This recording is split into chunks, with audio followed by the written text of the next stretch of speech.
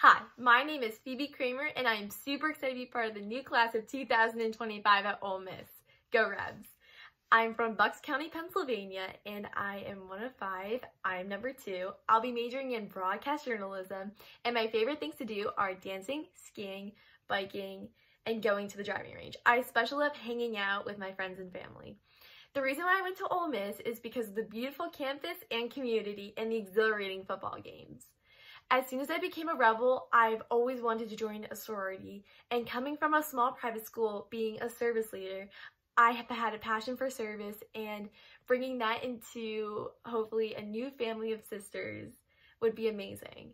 I am so excited to meet everybody and make some new memories and start a new chapter of my life. Hotty toddy!